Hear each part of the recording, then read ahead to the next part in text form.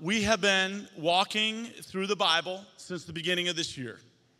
And each week we select a passage from our Bible reading, and we use that as the focus of our weekly message. This past week, as we've been reading through the Word, we read the end of Job, Job 32 to 42, Psalm 1 and 2, and Proverbs 1 through 6. If you want to join with us as we read through the Bible, we're going to be reading Proverbs 7 through 28. Proverbs 7 through 28. And you can find that Bible reading plan if you go to tworivers.church and the resources, there's a, it'll say Bible reading plans, and you can just jump in and follow along in that reading plan along with us. There's so many resources that are connected to that. Today, as we talk about God's Word, I want you to write down this message. You could use the back side of the brochure. There's notes. Today, we're talking about what is the fear of the Lord. What is the fear of the Lord? Proverbs chapter 1, verse 7 says this The fear of the Lord is the beginning of what? Everybody together, the beginning of knowledge. That was close. The, let's try that again. The fear of the Lord is the beginning of knowledge. But fools despise wisdom and instruction. So, as we go into this idea of what is the fear of the Lord, I, I think about one of my friends. I went to Bible college in Springfield, Missouri, and my wife went to Evangel University, and, and one of her friends was convinced that God was waiting to pounce.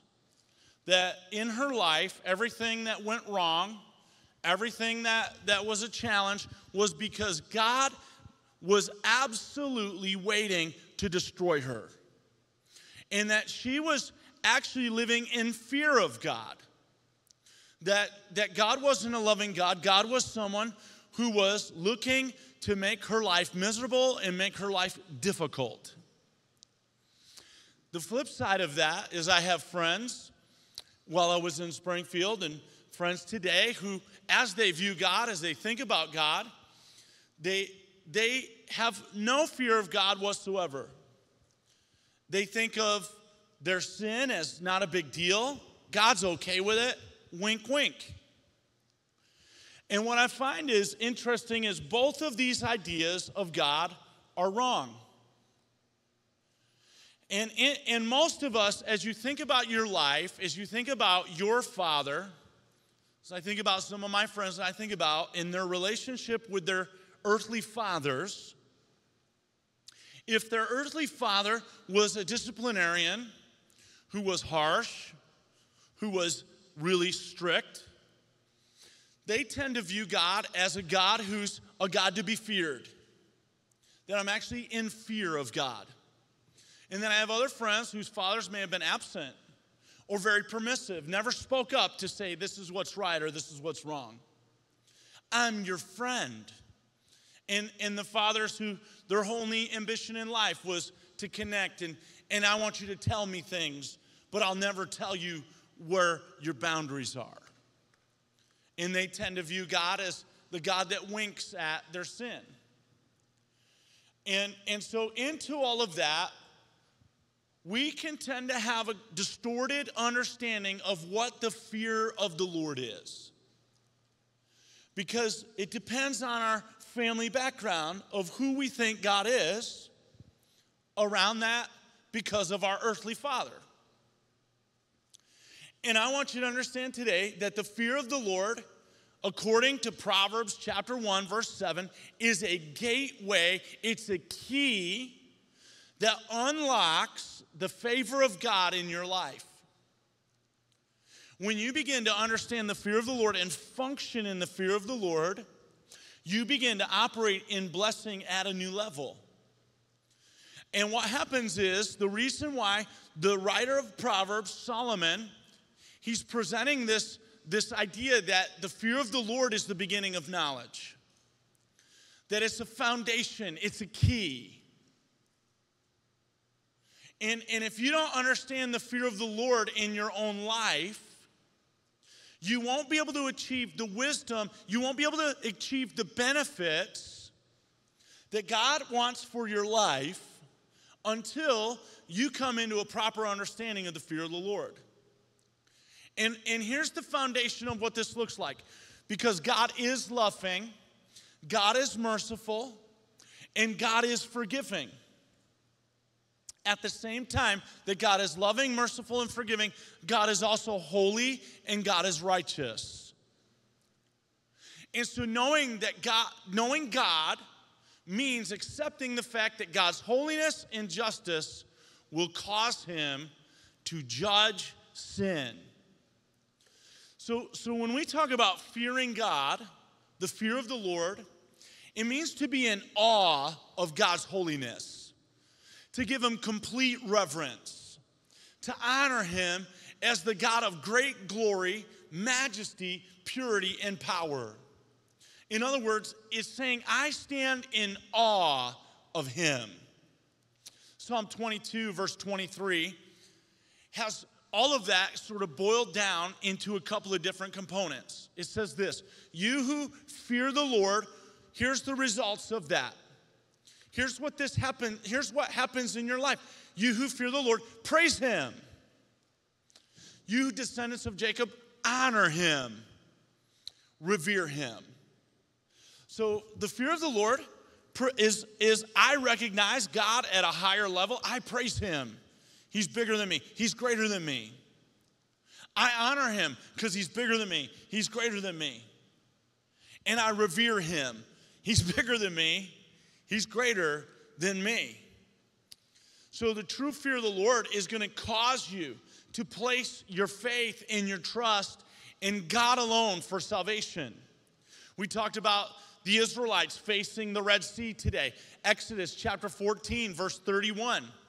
It says that when the Israelites saw the mighty hand of the Lord displayed against the Egyptians, the people what? Everybody together? The people Come on, what happened? The people feared the Lord. And because they feared the Lord, they, they saw him with awe, they saw him reverence, they just saw him part the Red Sea. They saw him kill all the Egyptians who were chasing them. They put their trust in him.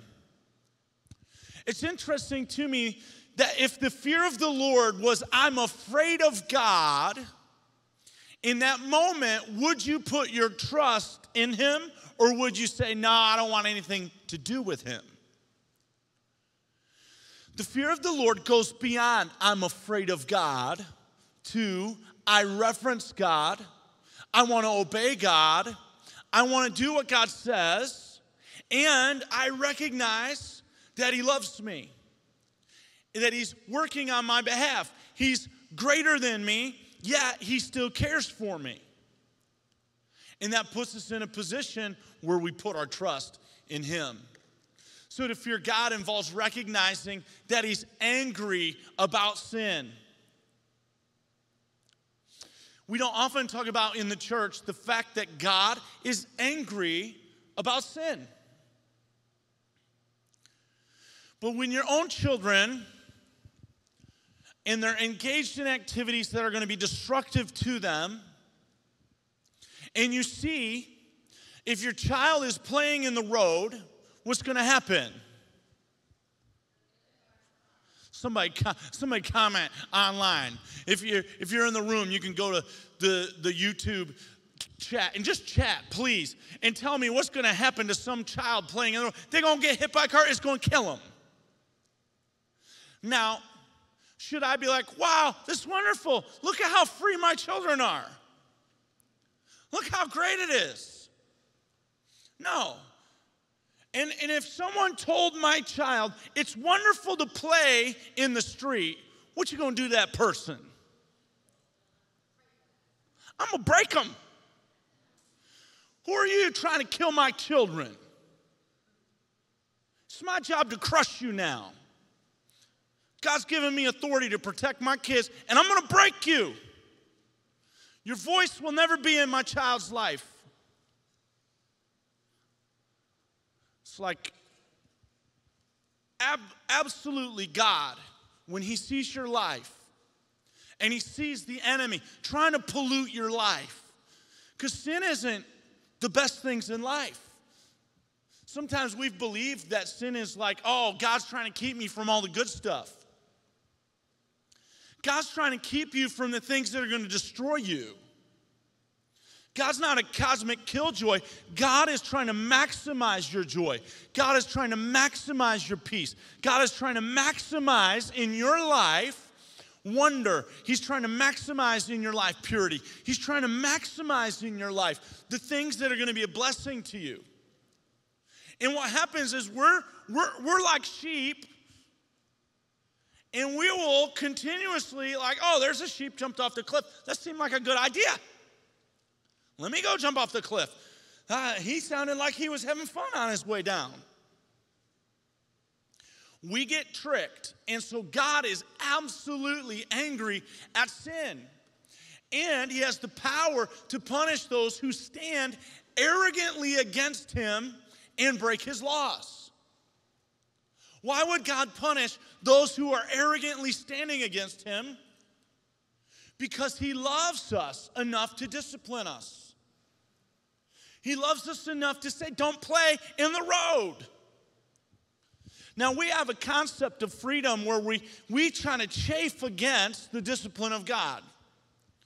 And one of the best ways that I like to describe this is the idea that in our culture today, we think of freedom as the lack of restriction. But we are probably more like the analogy of a train on tracks. And let me ask you this when is a train most free? When the train is on the tracks or when it's off the tracks? Come on, shout it out. When it's on the tracks. Is that what I heard?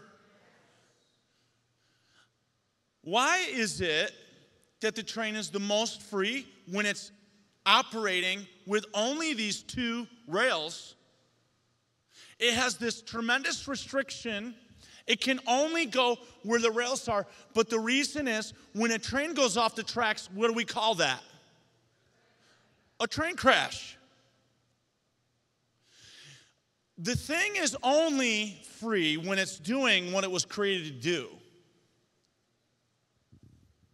You and I are only free when we're able to function inside of the boundaries that God's created. And He didn't create these boundaries to keep us from the great things, He, he gave us these boundaries to keep us from crashing. That we operate best inside of God's plan, in God, inside of God's system. And so it is God's prerogative to because he loves us, because he's holy, because he's just, to say, Yes, I'm angry with anyone who tries to destroy what I've created, what I said is good. And so we can have a tortured relationship with that because sometimes we have a tortured relationship with authority. We have a tortured relationship with our own fathers who maybe never said, Hey, stay inside of these boundaries because this is what's best.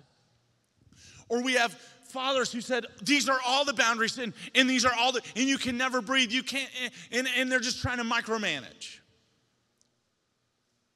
Hebrews chapter 10, verse 31 actually says it like this It's a terrible thing to fall into the hands of a living God. That God actually will punish to redirect our lives. A great example of this is Jim Bakker. Jim Bakker, if you don't know, was in the 80s one of the most successful evangelists. He was on TV and, and he was on fire for God. Yet, at the same time, it was revealed that Jim Bakker was having an affair with his secretary. And it's so twisted that his staff members, because of his tortured relationship with his wife, his staff members were encouraging that affair. On top of that, they had engaged in a scheme of embezzlement. They had engaged in a scheme that was illegally channeling money in, in, in ways that were absolutely underhanded. And they knew they were doing it. And so, into that, Jim Bakker was exposed, and Jim Bakker went to jail, went to prison for all of his crimes. And while he was in prison, John Bevere came to visit him. John Bevere is another pastor. And John Bevere tells the story of coming to visit Jim Bakker in prison. And John Bevere walks through the prison doors, and, and Jim Bakker hugged him. So glad you're here, Pastor John. So lovely. And, and as John Bevere began to talk with Jim Bakker, Jim Bakker said, This was this was the mercy of God in my life for me to go to prison. He didn't view prison as the destruction of his life, he viewed prison as God's hand of mercy. And John Bevere's like, What do you mean? And Jim Bakker said, If I'd continued going down the road that I was going down, I would have lost my soul.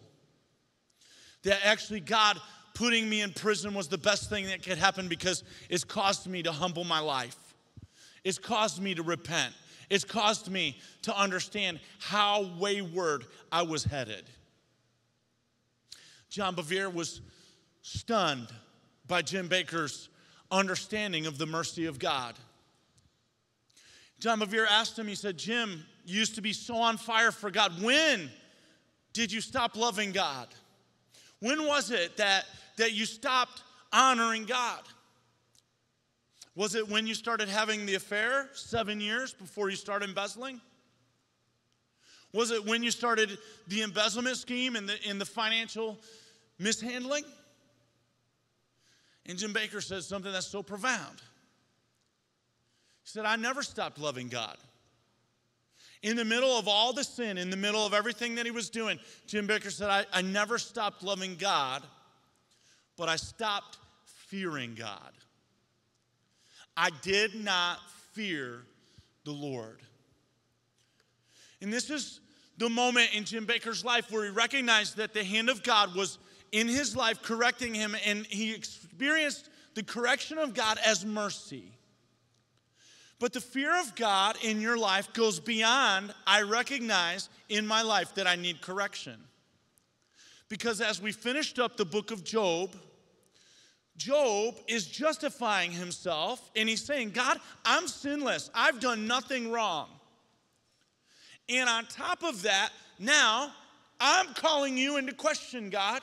How dare you, God, do something in my life because I'm so good? And the Bible says that he was.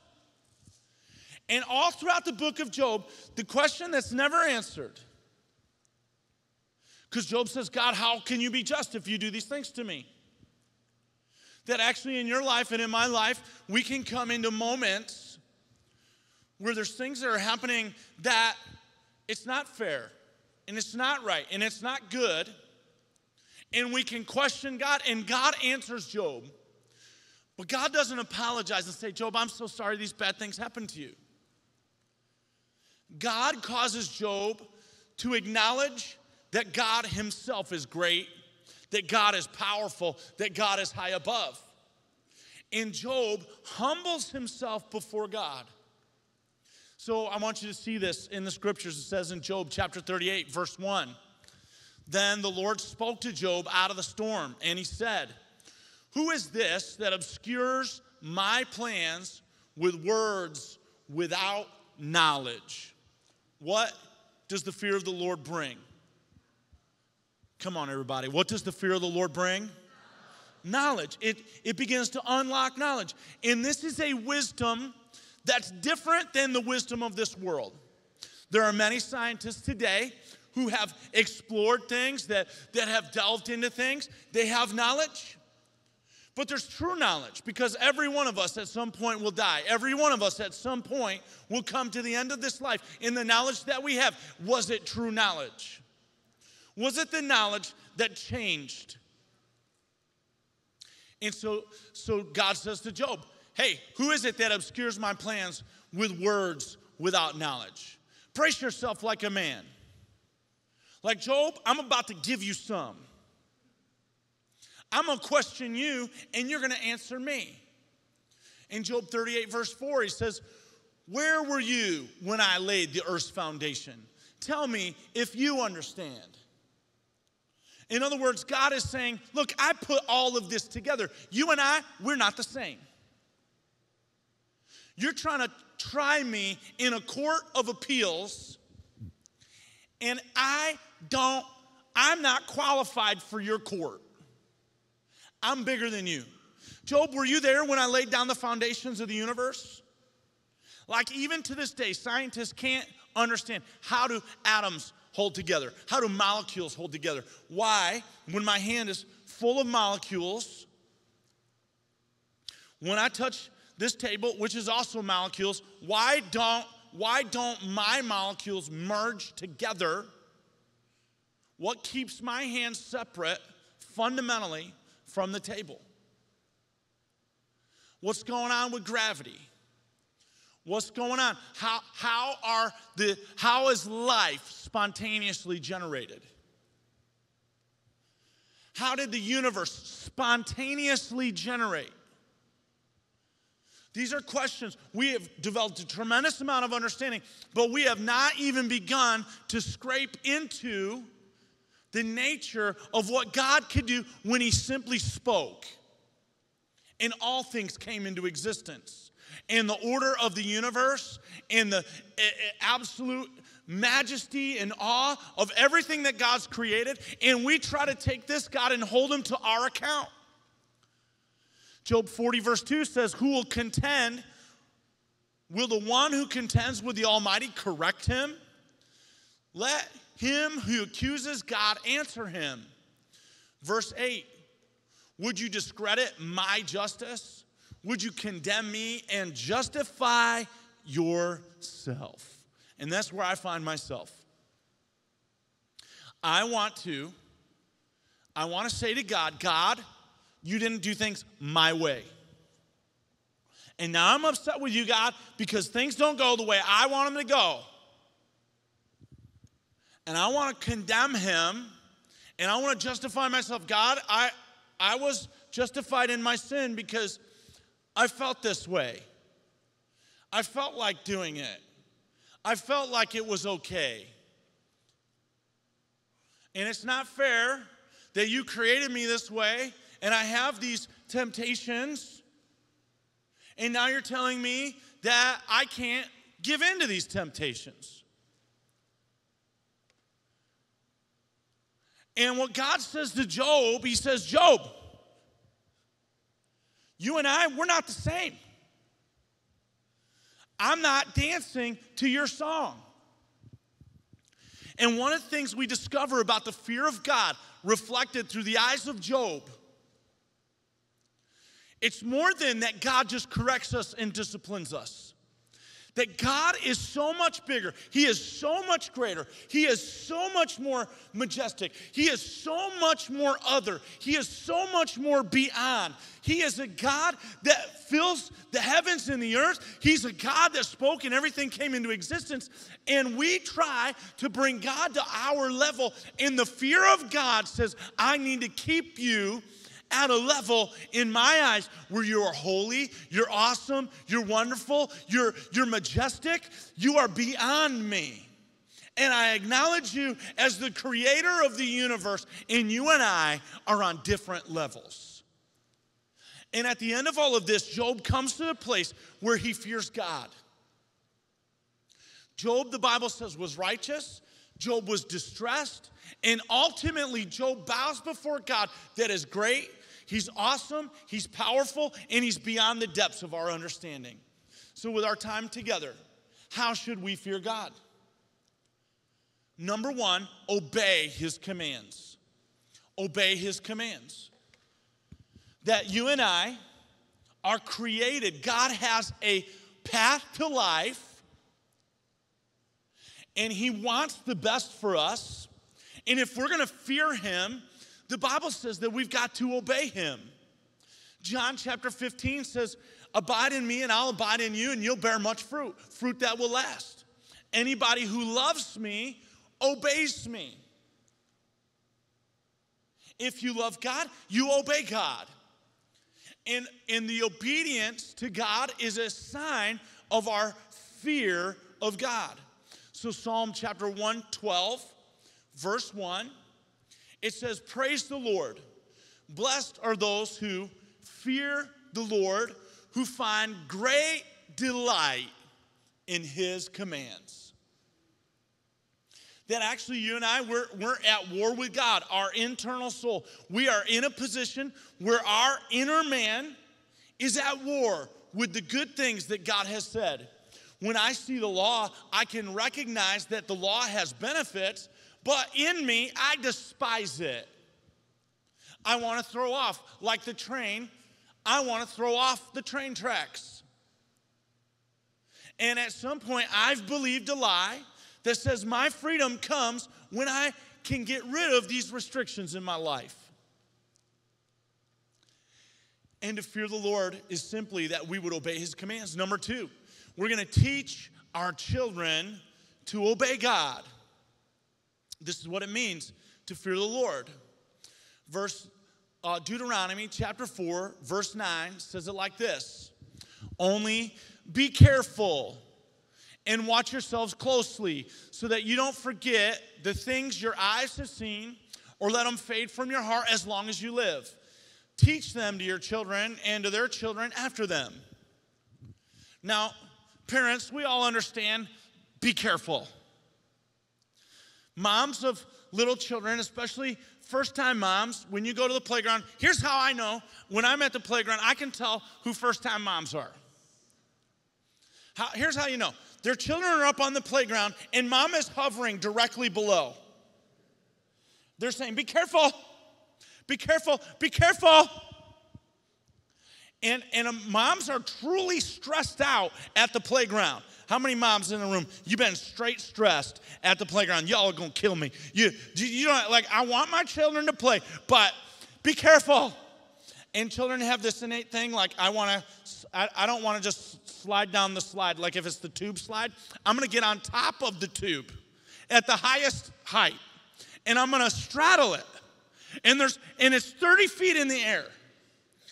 And what goes through a mom's mind is my child's about to die. I'm a terrible mother. I've ruined their life. And they're sitting supremely happy at the top of 30 feet, straddling the, the, the, the tube that goes down as a slide. And what do you want to scream? Be careful!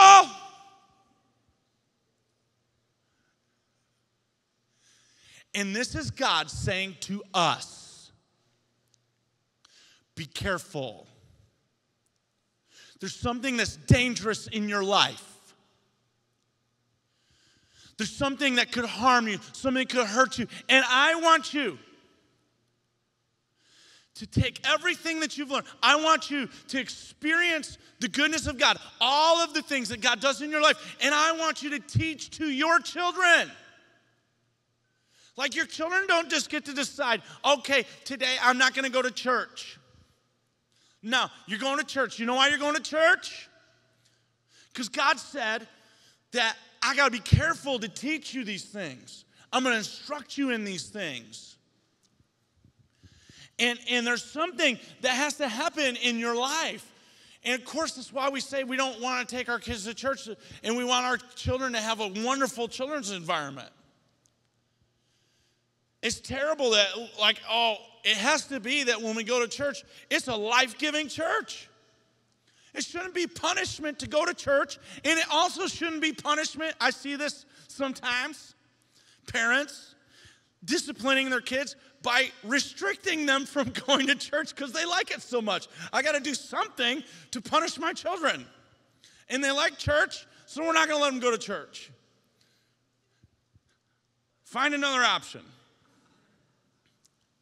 Number three, we'll have the worship team come back here. To fear God, this is what it is to fear God. Worship God with your whole being. Worship God with your whole being. It says in Psalm 22, verse 23, we already read this verse, but we're going to leave it at this verse. It says, You who fear the Lord, everybody together, you who fear the Lord, praise him. Now, that means that if I fear the Lord, I'm going all in. You know what happens in my life as I, I worship the Lord? sometimes I start thinking about what other people are thinking about me. What's so and so gonna think if I put my hand in the air? What's so and so gonna think when they walk out of here? Anybody ever been there where, where in your moment of praising God, you've felt like you wondered what somebody else might think? Three people. Y'all are some free people. Come on, this is a crowd participation. Write it uh, on online. Somebody, you got to put. Look, I I have in the culture that I live in, I feel tremendous pressure. I can't be the only one. That I feel pressure to conform to what other people are doing. I feel pressure. I feel like people are watching me and they want me to live like them. And when we say we're going to worship the Lord with our whole being, it means that when I fear God and I go to worship Him, I'm only thinking about Him. I'm not, I'm not trying to worry about pleasing you when I worship the Lord. I'm not trying to worry about pleasing my neighbors when I'm worshiping the Lord. Like when I go to a basketball game, I'm that guy. I am. I'm the guy. Like they send emails from the school to address parents like me. Like it's my one of the things I love to do is to get after the refs. Where's Glenn? I'm gonna get you, bro. Glenn's a, Glenn's a referee in the basketball games, and, and Glenn might get the call right, and I'm gonna put pressure on him just because on the next call, I want him to call it in favor of my team. That's how I roll. Get off me, ref. Get some glasses. Let's go, team. I'm about that life.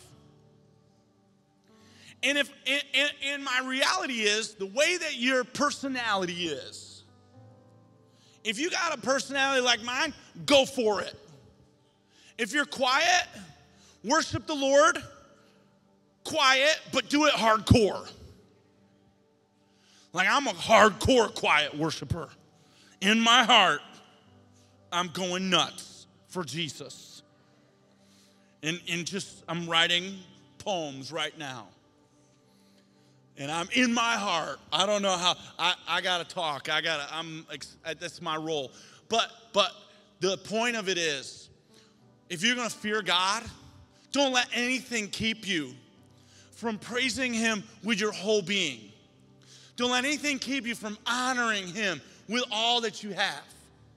Don't let anything keep you from revering Him that God, if I fear God, I've replaced everything. I'm serving God and God alone. I, everything else gets pushed out of my life, and this is what I do from here on out. I want to pray for you. Jesus, I pray now that, that you would come and you fix our understanding of who you are. That our Heavenly Father loves us and is holy. That we don't have to be afraid of you, but that we can fear you. We can reverence you. We can obey you. We can live in light of your correction and your direction, understanding that you are God above. And in that, as we do that, your word is full of promises that you're gonna bless us, you're gonna take care of us. There's things that are coming to us because we fear you and we honor you. Speak to every heart and every life. Now, in Jesus' name, amen.